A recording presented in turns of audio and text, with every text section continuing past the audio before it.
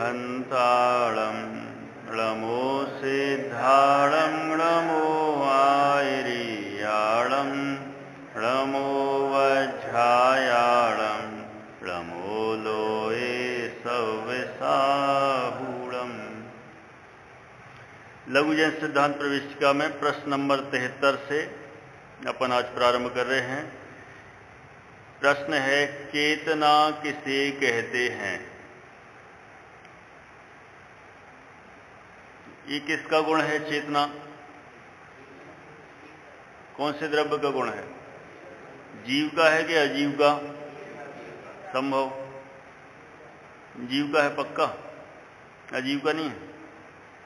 जीव द्रव्य का गुण है। तो अभी प्रश्न पूछ रहे हैं कि चेतना किससे कहते हैं? जिसमें पदार्थों का प्रतिभास होता है। उसे क्या कहते हैं? चेतना कहते हैं। प्रतिभास का मतलब जानकारी। प्रतिभास का मतलब जानकारी। और वो जानकारी भी दो टाइप की होती है। जानकारी भी दो टाइप की होती है।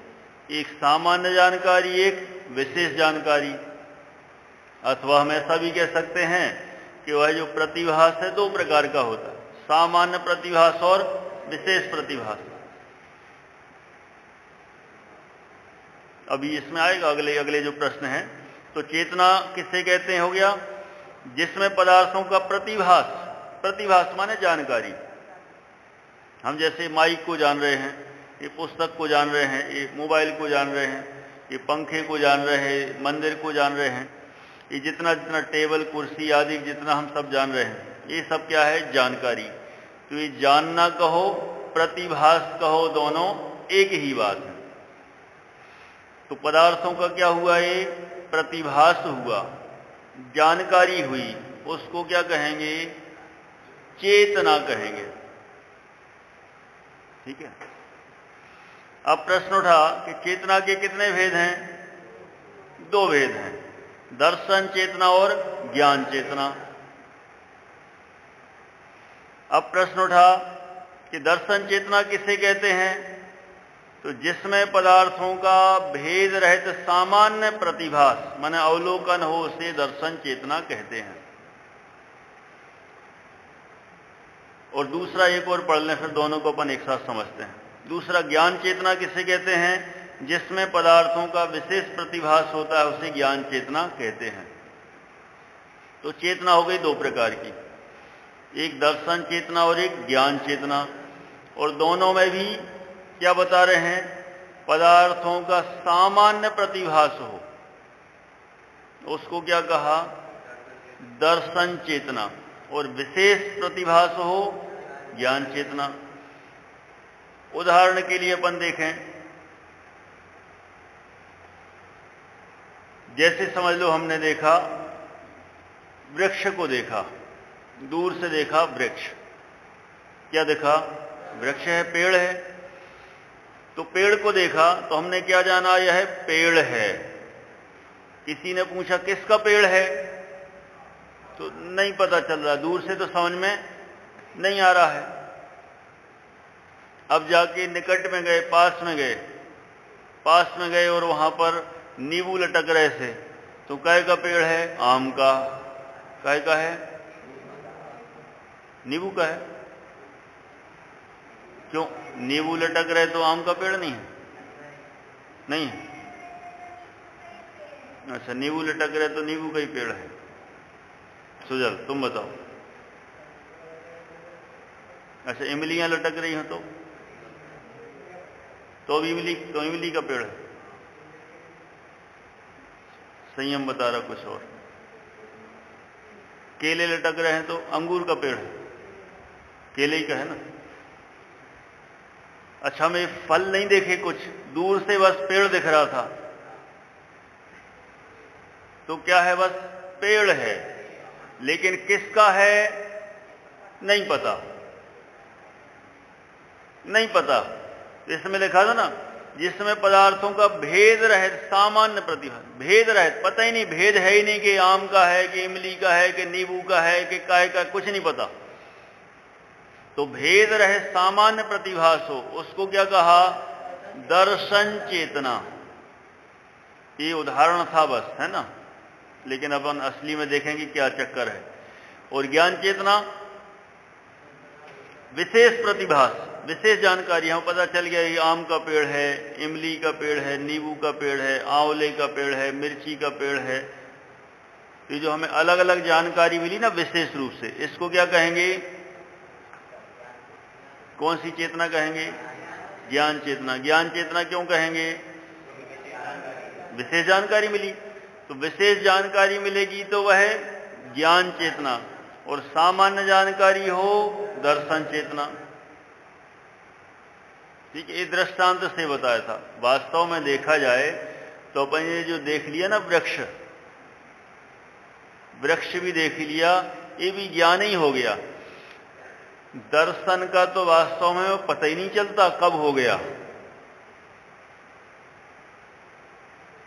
किसी भी पदार्थ का जो सामान्य अवलोकन होता है, सामान्य प्रतिभास होता है, उसको कहा दर्शन चेतना। दर्शन चेतना कब हो गई? पदार्थ का सामान्य प्रतिभास कब हो गया, ये तो हमें पकड़ में ही नहीं आता। हम जितना भी, जो भी जानते हैं, वो सब किसमें आ जाता है? सब ज्ञान चेतना में आ जाता है। क्योंकि दर्शन में तो सामान्य प्रतिभास होता है, सामान्य प्रतिभास कब हो गया पता ही नहीं चलता। ऐसा है। ये तो अपन ने उदाहरण समझने के लिए लिया कि वृक्ष दिख रहा है, वह सामान्य है और आम नीम आदि का है, यह विशेष है। लेकिन इसका अर्थ ही, मत समझ लेना कि सामान्य जो वृक्ष बस दिखा हुआ है दर्शन चेतना है। और आम आदि का जो पेड़ दिखा हुआ है, ज्ञान चेतना है। ये तो स्थूल रूप से समझाने के लिए कहा। लेकिन सामान्य प्रतिभास तो हमें पता ही नहीं चलता। हमारे ज्ञान में पकड़ में ही नहीं आता कि सामान्य प्रतिभास हो गया। ऐसा होता है। ठीक है तो सामान्य प्रतिभास में क्या कह दिया? दर्शन चेतना में क्या कह दिया? सामान्य प्रतिभास, बस। भेद रहित, माने कोई भेद नहीं। कुछ ख्याल में ऐसा नहीं आए। आता तो है, लेकिन हमारे ज्ञान में, पकड़ में नहीं आता। इतना फास्ट इतना सूक्ष्म रूप से हो जाता है पहले। और जिसमें पदार्थों का विशेष प्रतिभास होता है, जानकारी मिलती है। भेद सह जानकारी, उसे कहेंगे अपन ज्ञान चेतना। अब दर्शन चेतना के भेद पूछ रहे हैं, कितने होते हैं? दर्शन चेतना के कितने भेद हैं? चार भेद हैं, और ज्ञान चेतना के? अभी बताएँगे अपन, है ना? अभी अपन सिर्फ़ दर्शन चेतना के ही देखते हैं। प्रश्न तो वही है ना? चार हैं, चक्षु दर्शन अचक्षु दर्शन अवधि दर्शन और केवल दर्शन ये चार किसके भेद हैं? दर्शन चेतना के हैं। ठीक है, श्रेयस, क्या बोले, किसके भेद हैं चारों? दर्शन चेतना के। चार नाम याद हो गए? बैठ जाओ भी आदर्श दिख नहीं रहे हो, थोड़ा साइड में हो इधर चेहरा नहीं दिख रहा है, या तो इधर आ जाओ या उधर हाँ। चार हो गए। चारों की हम परिभाषा देखते हैं अभी। सबसे पहला कौन सा दर्शन है? चक्षु दर्शन। नाम ही ऐसे हैं कि नाम से ही अर्थ पकड़ में आता है। क्या पकड़ में आता है? चक्षु दर्शन। चक्षु इंद्री से जो दर्शन हो। किससे? चक्षु इंद्री तो सब जानते हैं ना। इंद्रियाँ कितनी होती हैं? पाँच। तो सबको पता है? कौन कौन सी? स्पर्शन, रसना, घ्राण, चक्षु और कर्ण। ये पाँच। पक्का? कोई डाउट तो नहीं? इसमें कौन सी इंद्री की बात कर रहे हैं? चक्षु इंद्री। चक्षु इंद्री कौन सी है? आँख है ना आँख? उससे क्या होता है? चक्षु इंद्री से जो दर्शन हो। संभव, क्या बोले? चक्षु से जो दर्शन हो। दर्शन हो का मतलब सामान्य अवलोकन हो, सामान्य प्रतिभास हो, भेद रहित जानकारी हो, भेद रहित सामान्य प्रतिभास हो, उसे क्या कहेंगे?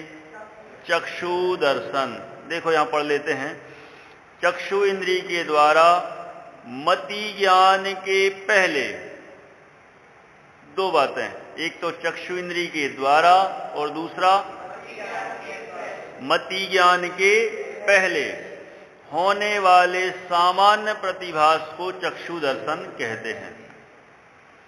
कई लोग ऐसा भी इसका अर्थ निकाल लेते हैं। क्या आँख से जो दर्शन होता है ना, देखा ये पंखा है तो ये क्या हो गया?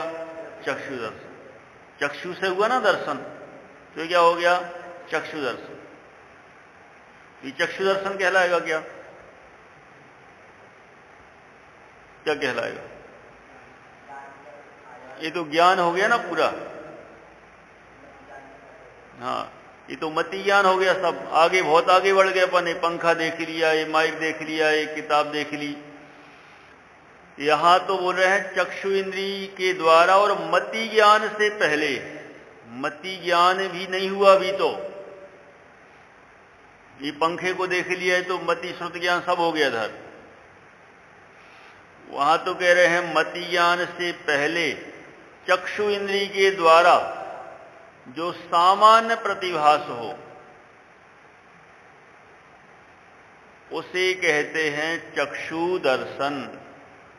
ठीक है, संयम, क्या बोले?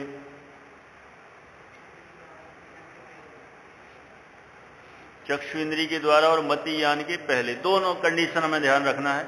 एक तो किस, कौन सी इंद्री से होगा? चक्षु इंद्री से होगा। किसके पहले होगा? मति ज्ञान से पहले होगा। मति ज्ञान जानते हो क्या होता है? अभी सबने पढ़ा नहीं नहीं तो। और अब आगे आएगा वैसे। इसके आगे की कक्षा में आने वाला है। तो मतियान क्या होता है वो ख्याल में आ जाएगा तो ये और स्पष्ट हो जाएगा। तो मतियान तो अभी हुआ ही नहीं। उसके भी पहले जो सामान्य आभास होगा, लेकिन कंडीशन किसके द्वारा? चक्षु इंद्री के द्वारा। उसे कहेंगे चक्षु दर्शन। ठीक है, प्रियांश? क्या बोल रहे? सुना कुछ और सोच रहे थे। हाँ बोलो। प्रश्न है? हाँ। ठीक है। हाँ। इंद्री तो इसमें?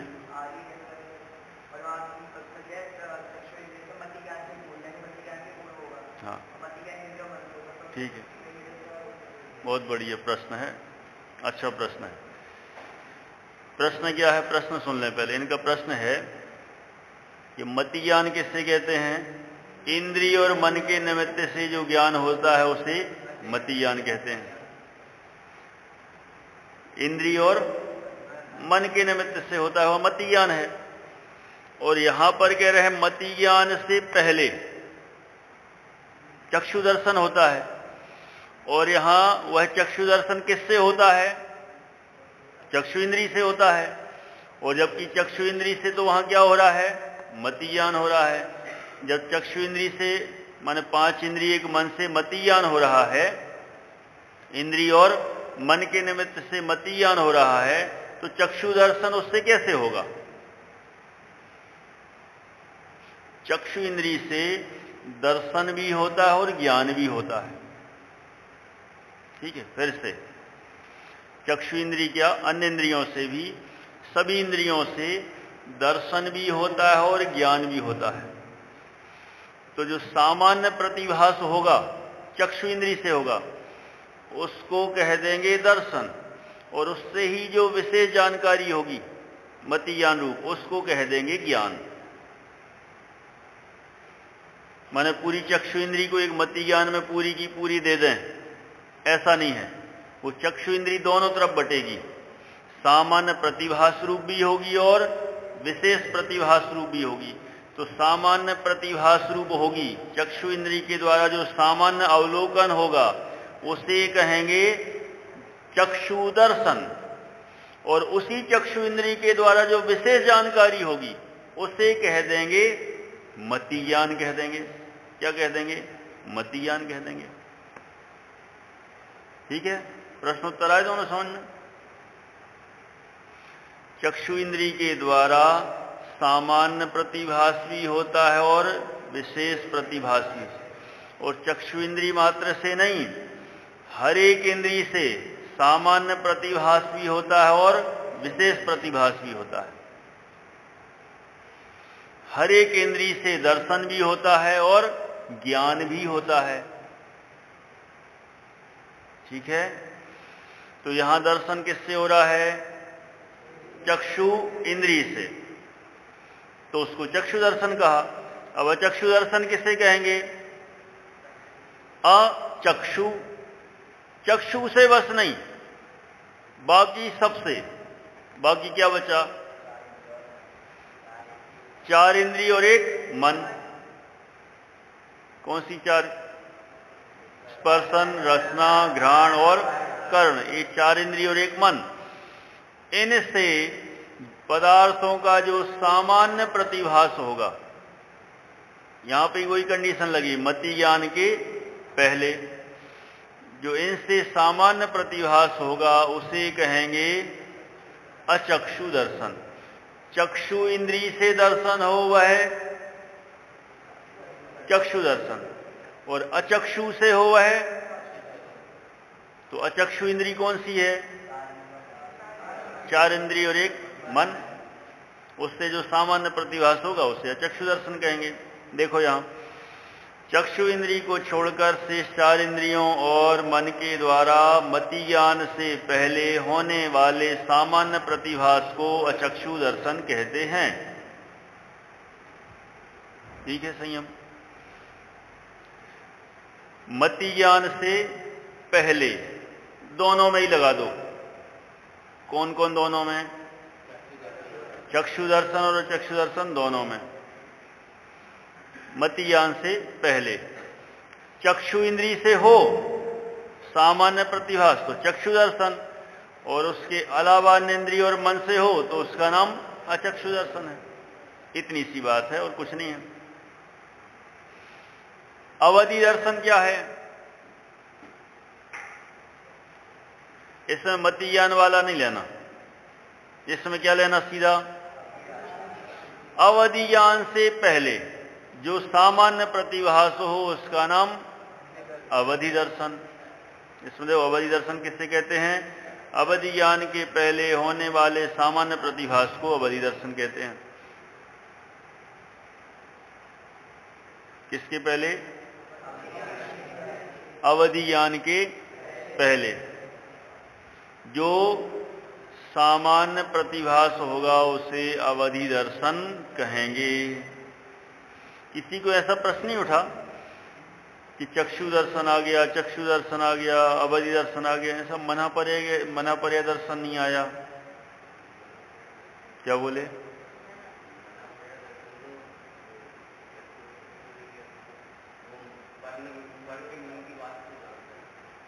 हाँ तो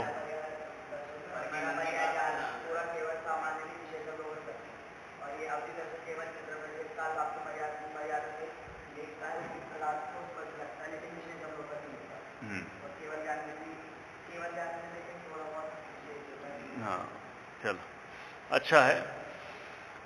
तो मन पर्याय दर्शन नाम का कोई दर्शन नहीं होता है। क्यों नहीं होता है? क्योंकि जो मन पर्याय ज्ञान है, वह दर्शन पूर्वक नहीं होता। मति ज्ञान भी दर्शन पूर्वक हुआ। इसके अलावा कौन सा श्रुत ज्ञान भी नहीं लिया। श्रुत ज्ञान का के पहले जो दर्शन है, उस श्रुत दर्शन भी नहीं लिया। दो दर्शन नहीं लिए। मति ज्ञान के पहले वाले चक्षु दर्शन ले लिए, चक्षु दर्शन ले लिए। श्रुत दर्शन नहीं लिया और मनापर्य दर्शन नहीं लिया। उसका कारण यह है कि जो श्रुत ज्ञान है, वह मति ज्ञान पूर्वक होता है, इसलिए उसके पहले दर्शन की आवश्यकता नहीं है। एक पॉइंट और जो मन पर ज्ञान है, वह भी अभी आप लोग पढ़ेंगे जब तो और विस्तार से आएगा।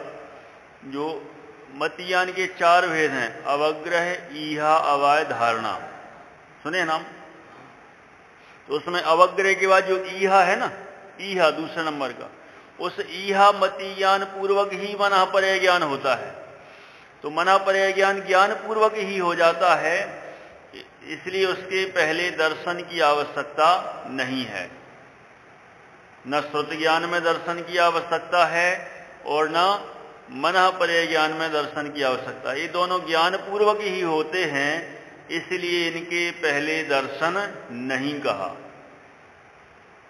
ठीक है? मान लो प्रश्न आ जाए कि श्रुत दर्शन और मना पर्याय दर्शन क्यों नहीं लिया? तो क्या कहेंगे? ये दोनों ज्ञान दर्शन पूर्वक नहीं होते, बल्कि ज्ञान पूर्वक ही होते हैं। और दोनों भी कैसे ज्ञान पूर्वक मति ज्ञान पूर्वक ही हो जाते हैं। इसलिए इनके पहले दर्शन नहीं कहा। होने को तो जब गहराई में जाओ और बड़े बड़े ग्रंथ पढ़ो तो कभी कभी कह देते हैं इसके पूर्व वाला जो ज्ञान है ना, वो उपचार से उसके लिए दर्शन ही है। ऐसा भी कह देते हैं। जैसे श्रुत ज्ञान के पहले अथवा मन पर ज्ञान के पूर्व वाला जो ज्ञान है ना, मति ज्ञान तो उसके लिए वह एक तरह से दर्शन ही है, उपचार से। ऐसा भी घटित कर देते हैं। लेकिन विशेषता से देखें तो श्रुत ज्ञान और मना पर ज्ञान, ये मति ज्ञान पूर्वक होते हैं इसलिए इनको, इनके लिए दर्शन की आवश्यकता नहीं है। तो ना श्रुत दर्शन है और ना मन पर दर्शन है। अब अंतिम आते हैं कौन सा? केवल दर्शन किसे कहते हैं? तो अभी तक के तो दर्शन ऐसे थे कि ज्ञान के पहले हो रहे थे। चक्षु दर्शन, अचक्षु दर्शन, दोनों किस ज्ञान के पहले हुए? मति ज्ञान के पहले हुए। अवधि दर्शन किसके पहले हुआ? अवधि ज्ञान के पहले हुआ। माने पहले दर्शन हुआ, बाद में ज्ञान हुआ। लेकिन केवल दर्शन में थोड़ा अलग है व्यवस्था। ये आगे पीछे नहीं होते, पहले बाद में नहीं होते। ये दोनों साथ साथ ही होते हैं। क्या बोले श्रेयस? साथ साथ होते हैं। माने केवल दर्शन और केवल ज्ञान दोनों एक साथ होते हैं। ऐसा नहीं होता कि पहले केवल दर्शन होगा, फिर बाद में केवल ज्ञान होगा। इसमें लिखा, केवल ज्ञान के साथ साथ होने वाले सामान्य प्रतिभास को केवल दर्शन कहते हैं। माने सामान्य प्रतिभास और विशेष प्रतिभास दोनों साथ में ही होते हैं, आगे पीछे नहीं होते। ठीक है प्रियांश? चक्षु दर्शन चक्षु दर्शन, अवधि दर्शन, ये कैसे होते हैं? ज्ञान के पहले। और केवल दर्शन, ज्ञान केवल ज्ञान के साथ होता है। इतना इसमें विशेष है। ठीक है? एक और अंतिम प्रश्न है। दर्शन चेतना कब उत्पन्न होती है? दर्शन चेतना कब उत्पन्न होती है? वही बात है जो पहले अपन ने भी पढ़ ली। दर्शन चेतना छदमस्त जीवों को ज्ञान के पहले और केवल ज्ञानियों को ज्ञान के साथ साथ होती है। ये छदमस्त कौन होते हैं? हम सभी छदमस्त हैं। पहले गुणस्थान से बारहवें गुणस्थान तक के सभी कहलाते हैं छदमस्त अल्प ज्ञानी ठीक है? और तेरहवें गुण स्थान से सब कहलाते हैं सर्वज्ञ। केवल ज्ञानी है। तो छदमस्तों के तो ज्ञान से पहले दर्शन होता है। और सर्वज्ञों के केवल ज्ञान के साथ साथ दर्शन होता है। उसमें आगे पीछे नहीं होता। सब कुछ एक साथ होता है। इस तरह से यहाँ पर प्रश्न था, दर्शन चेतना कब उत्पन्न होती है? तो छदमस्तों को ज्ञान के पहले और केवलियों को ज्ञान के साथ उत्पन्न होती है। इस तरह की चर्चा अपन ने की। अब अगली जो प्रश्न है, उसकी चर्चा अपन आगे करेंगे अगली कक्षा में कि ज्ञान चेतना के कितने भेद हैं।